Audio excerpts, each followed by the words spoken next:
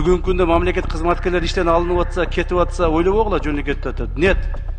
У кого то какой то малейший связь будет бүтө алабыз баарынчы азыр эле мага бир депутат жолугуп могул жерде биздин айылдан биздин бир жетекчи бар эле райондук деңгээлдеги. Так ошону иштен алып атыпсыздар анын связи жок дейт. Я ему сразу сказал у него есть связь с так называемым членом опг казак. Он ему передачу таскал. Поэтому его снимаем